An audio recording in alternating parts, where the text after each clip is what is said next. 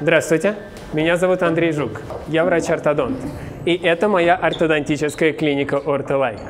В этих ортодонтических кабинетах мы создаем красивые улыбки. Многим интересно знать, как мы это делаем. Для этого мы подготовили для вас серию видеопособий, в которых мы подробно об этом расскажем. Клиника Ортолайк доктора Жука представляет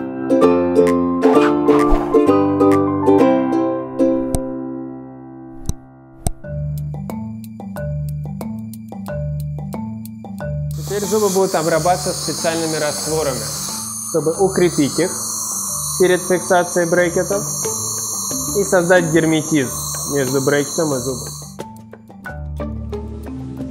Ведь всем любопытно, как происходит установка брекетов. А когда к ортодонту стоит привести вашего малыша? Когда вообще оптимально обращаться к ортодонту? Есть ли смысл лечения для людей в возрасте? Сколько разновидностей устройств и какие из них чаще ломаются? Если брекеты дешевле, то означает ли это, что и лечение хуже? И что делать с зубами мудрости? И сегодня в нашем видеоблоге мы поговорим о зубах мудрости. Если есть зуб мудрости, значит есть зуб глупости. Мне какой-то выдрали. А какой вопрос?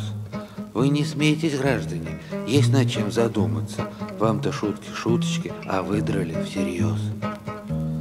Я сижу и думаю. Однако, находясь в полости рта, они могут приводить к достаточно серьезным проблемам, как со стороны здоровья зубов, так и со стороны прикуса. Это если с мудростью на века покончено. Если глупость вырвали, все наоборот. Сегодня я рассказал вам о принципах ортодонтического лечения у детей и взрослых, как к этому нужно подходить и что с этим делать. Я желаю вам красивых и здоровых улыбок и всегда буду рад вас видеть в своей ортодонтической клинике Ортолайк, которая располагается около станции метро Римская.